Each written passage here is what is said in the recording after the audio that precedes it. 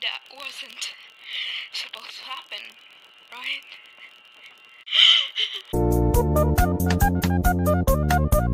Now I